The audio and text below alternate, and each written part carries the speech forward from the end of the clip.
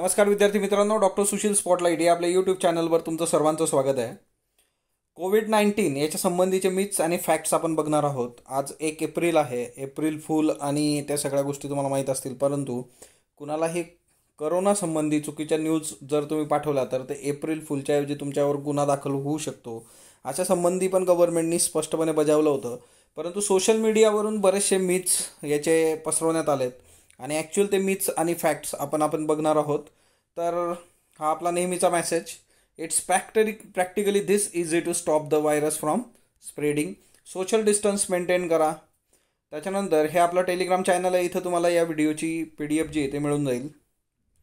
सगळ्यात पहिलं मीथ जे आहे की antibiotic effective in preventing the treating this new corona virus सगळ्यात बेसिक गोष्ट आहे हा आहे व्हायरस अँटीबायोटिक जे असतात ते बॅक्टेरियाच्या अगेन्स्ट काम करतात. त्याच्यामुळे व्हायरसच्या अगेन्स्ट कुठलंही अँटीबायोटिक काम करत नाही आणि त्याच्यामुळे अँटीबायोटिक हे व्हायरसला प्रिव्हेंट करू शकत नाही. पुढचं जे मीत आहे ते म्हणजे the incubation period is up to five days म्हणजे इन्क्युबेशन पिरियड काय असतो सर्वप्रथम? तर हा जो टाईम असतो की catching the virus and beginning to have symptoms of the disease म्हणजे तुम्हाला त्या व्हायरसनी इन्फेक्ट करणं आणि सिम्पटम दिसणं हा जो पिरियड असतो तो इन्क्युबेशन पिरियड आहे. आणि हा पिरियड करोना व्हायरससाठीचा चौदा दिवसांचा आहे. म्हणजे असं होऊ शकतं की एखाद्या करोना संसर्गित रुग्णाला तुम्ही भेटलात आणि चौदा दिवसांनंतर तुम्हाला लक्षणं दिसू शकतात. म्हणजे चौदाव्या दिवशी वगैरे तर तेवढा पिरियड होऊ शकतो. म्हणजे तुम्ही चार पाच दिवसात निवांत आपला ना? तर असं नाही आहे. त्याच्यानंतर you can hold your breath for ten seconds without discomfort you don't have COVID nineteen तर असं पण हे केलं गेलं की आता खरं तर करोनाचे सिमटम्स मी बऱ्याचदा सांगितलेले आहेत. तुम्हाला कोरडा खोकला असणं ताप असणं तर श्वास घ्यायला त्रास होणं ह्या काही बेसिक गोष्टी आहेत. परंतु काही लोकांनी हे पण की जर तुम्ही दहा सेकंदासाठी कुठल्याही डिस्कम्फर्टने तुमची श्वास रोखून धरू शकलात तर तुम्हाला करोना नाही आहे तर असं काही एक नाही आहे ओके?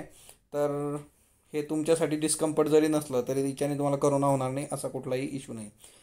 त्यानंतर दुसरं महत्त्वाची गोष्ट आहे की एक ओल्ड चायनीज डॉक्टर म्हणजे अँशियंट प्राचीन काळातला जो डॉक्टर होता त्यांनी सांगितलेलं आहे की करोना व्हायरसचं क्युअर त्यांनी सांगून ठेवलं होतं वन बाउल ऑफ गार्लिक म्हणजे जर तुम्ही लसूण खाल्ला एक बाऊलभर एक वाटीभर तर तिच्याने तुम्हाला करोना व्हायरस चालला जाईल. तर असं काही नाही याला कुठलेही सायंटिफिक एव्हिडन्सेस नाही आहे नक्कीच लसूण हा इम्युनिटीसाठी खूप चांगला असतो.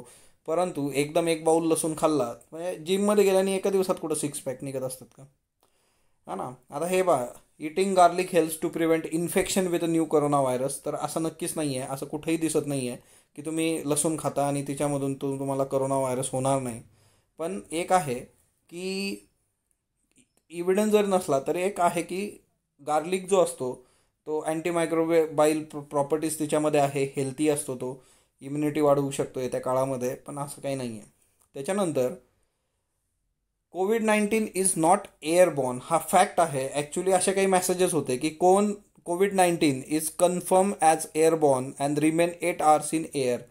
Corona virus आठ तास हवेमध्ये राहतो. आता खरं तर करोना व्हायरस जो आहे त्याचे ड्रॉपलेट्स जे असतात ते टू हेवी असतात. म्हणजे तो जो तुम्ही खोकताना किंवा मग शिंकरताना बोलताना जे ड्रॉपलेट्स इन्फेक्टेड पर्सनच्या तो हिच्यातून बाहेर पडतात ते हेवी असतात आणि ते एअरमध्ये जास्त वेळ थांबूच शकत नाही. ते जमिनीवर फ्लोअर्सवर सरफेसवर पडतात. त्याच्यामुळे हे फार क्लिअर आहे की कोविड नाईन्टीन हा एअरबॉर्न नाही. त्याच्यानंतर next one virus does not survive in warm weather or in the sun भारताच्या बाबतीत ही गोष्ट फार क्लिअरली बोलली जात होती की उन्हाळा किंवा ऊन वाढेल आणि तिच्यामुळे करोना मरून जाईल आणि भारतासारख्या देशामध्ये असं काही होणार नाही. काही रिसर्चचं म्हणणं आहे की जसं टेम्परेचर वाढतं तर त्याचं इन्फेक्शन रेट कमी होतो. पण हे कुठेही सिद्ध झालेलं नाही आहे की टेम्परेचरमध्ये करोना व्हायरस जिवंत राहू शकत नाही. तर ह्या सगळ्या गोष्टी याच्यामध्ये क्लिअर केलेल्या आहेत.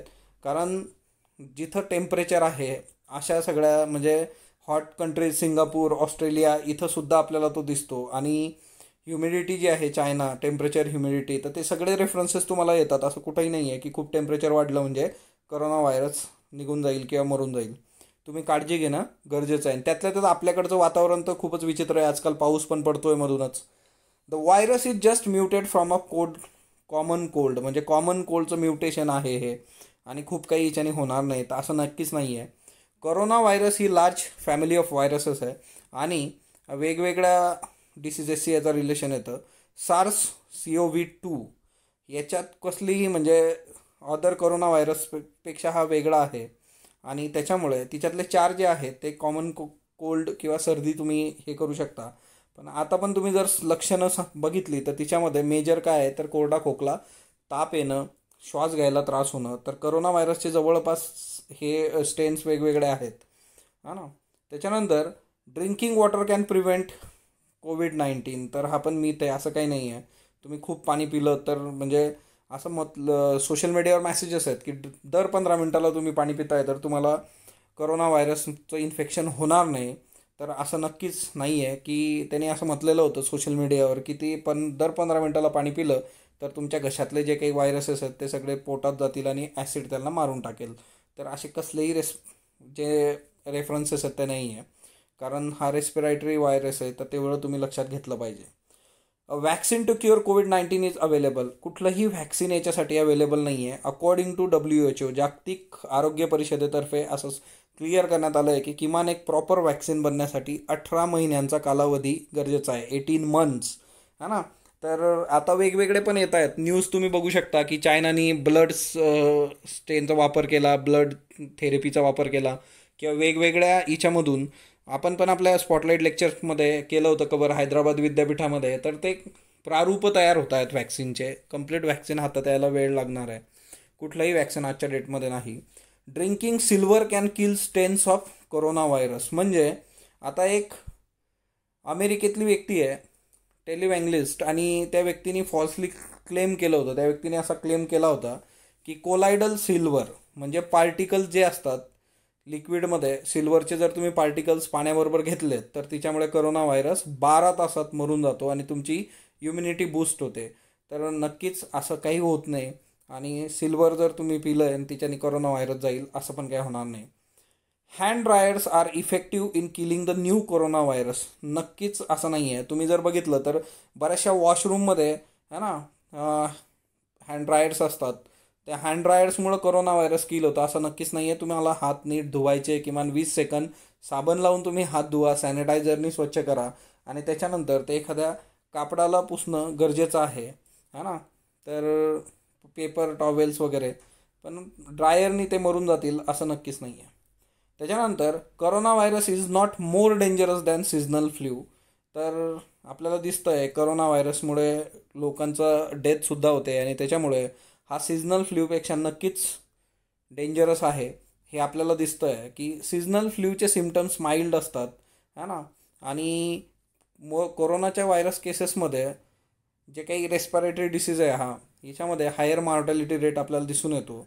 आणि वन पर्सेंट फॅटिलिटी रेट आहे याचा सिजनल फ्ल्यूचा तर कोविडचा दहा टाईम्स डेडलियर आहे तो सिजनल फ्ल्यूपेक्षा तर हे एक लक्षात ठेवायचं की तो दहा पट सिजनल फ्ल्यूपेक्षा जास्त डेंजरस आहे.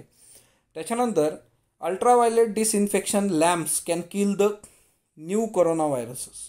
तर अल्ट्राव्हायलेट डिसइन्फेक्शन लॅम्प जे असतात ते काय म्हणजे हे कशाही पद्धतीने स्टे हात स्टेरिलाइज करायला वापरू नये कारण त्याच्यामुळे स्किन इरिटेशन होऊ शकतं. आणि अल्ट्राव्हायलेट डिसइन्फेक्शन लॅम्प जे आहेत तर ते आपल्या स्किनलाच इजा पोचवू शकतात आणि त्याचा वापरच गैर आहे. त्याच्यामुळे कोरोना जाईल नाही जाईल तो प्रश्न पुढचा आहे अजून. Kids can't catch corona virus आपल्याकडे केसेस आलेले आहेत. आपण बघतोय जगभरातून एका महिन्याच्या बाळापासून सात वर्ष दहा वर्ष इतक्या लहान मुलांना या वयाच्या लहान मुलांना करोना व्हायरसचं इन्फेक्शन झालेलं आहे. त्याच्यामुळे हा जो सोशल मीडिया मेसेज आहे हाही चुकीचा आहे.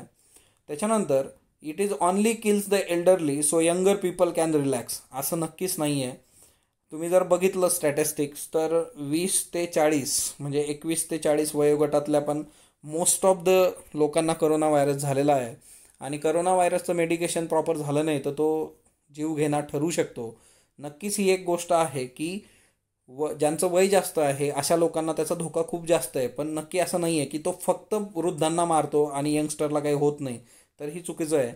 त्याच्यानंतर फेस मास्क डोंट वर्क याच्यासाठी तुम्ही यन नाईन्टी फाईव्हवाला व्हिडिओ बघू शकता आपला आणि सर्जिकल मास्कचा ॲक्च्युली मास्क गरजेचे आहेत.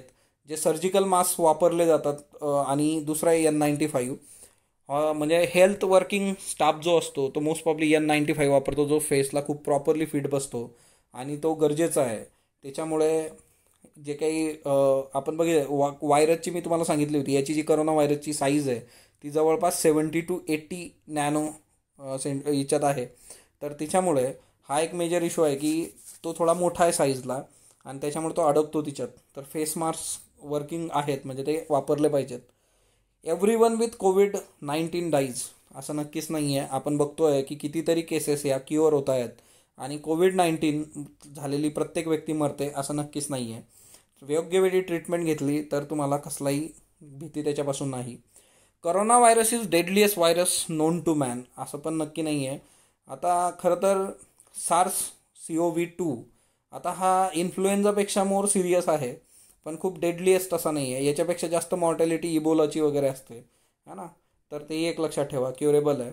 Cat and dog spread corona virus आता पेट डॉग्स कॅट याच्यावरून पण इश्यू आहे. अशा काही केसेस आलेल्या आहेत की ज्याच्यामुळं काही लोकांना झालेलं आहे पण कॅट अँड डॉग्समध्ये असं खूप प्रॉपरली रिसर्च समोर येत नाही आहे की ते कॅरियर म्हणून काम करतायत वगैरे वगैरे. तर याच्यावर अजून थोडं संशोधन होणं गरजेचं आहे. पण आजच्या डेटमध्ये खूप काही भीती नाही आहे तुम्हाला तुमच्या पेट्सपासून असं झालेलं आहे की लोकांनी घरातल्या कॅट्स अँड डॉग्सला पण म्हणजे डॉग्सपेक्षा पण कॅट्सला बाहेर काढून टाकलेलं आहे. है ना? त्यांचा खाण्याचा वगैरे इश्यू होतो आहे आजकाल. लॉकडाऊन पण आहे.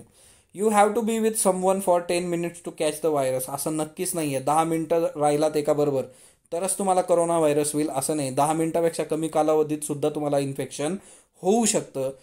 ज्या व्यक्तीला संसर्ग झालेला आहे त्या व्यक्तीला तो कितपत झालेला आहे आणि त्याच्यामधले म्हणजे व्हायरसचं इंटेन्सिटी त्या सगळ्या गोष्टी पण मॅटर करतात. दहा मिनटापेक्षा कमी वेळात पण तुम्हाला करोना व्हायरसची लागण होऊ शकते. You can protect yourself by gargling bleach आता हे ब्लीचने गार्गल करणं हे तुम्हाला तुमच्याच याच्यासाठी म्हणजे हेल्थ करता प्रॉब्लेमॅटिक ठरू शकतं आणि सिरियस डॅमेज याच्याने होऊ शकतो. करोजिव्ह असतं bleach thermal scanners can diagnose corona virus. तर थर्मल स्कॅनर्स हे फिवरला डिटेक्ट करू शकतात. हा ना? पण ते बाकी सिजनल फ्ल्यूमध्ये वगैरे पण वापरतात काही ठिकाणी. परंतु कोविड नाईन्टीनचे सिमटम्स दोन ते दहा दिवसांनी समोर येतात इन्फेक्शननंतर त्यामुळे थर्मल जे आहे तर ते खूप काही वर्क करत नाही याच्यामध्ये.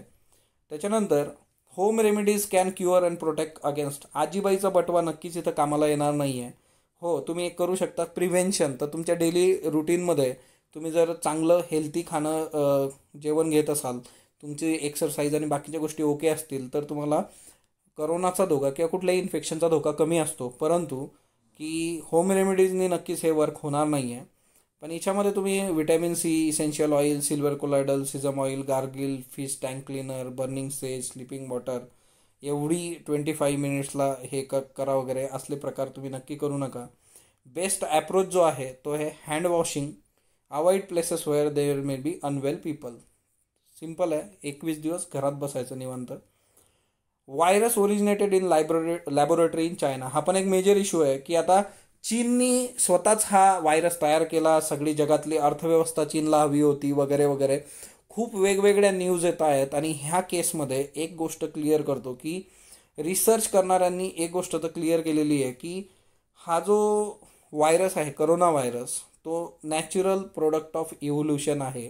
ही गोष्ट समोर आलेली आहे रिसेंट स्टडी ज्या आहेत तिच्यामधून. आणि काही रिसर्चला वाटतं की पँगोलिनमधून तो ह्युमनपर्यंत आला. बॅट्समधून तो ह्युमनपर्यंत आला. तर पँगोलिनचं पण मी तुम्हाला व्हिडिओ तयार करून दिलेला आहे एक्स पँगोलिन अँड करोना तो तुम्ही बघू शकता.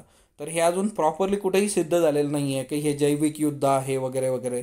तर ती एक गोष्ट लक्षात ठेवा. पण मी एवढं क्लिअर सांगतो की करोना व्हायरस हा नॅचरल प्रोडक्ट ऑफ इव्होल्युशन आहे ह्या रिसर्च स्टडीज तुम्हाला सांगतात. तर ह्या सगळ्या गोष्टी फार महत्त्वाच्या आहेत. तुम्ही करोना संबंधीचे फॅक्ट्स लक्षात घेणं गरजेचं आहे. जास्तीत जास्त लोकांपर्यंत पोहोचवा.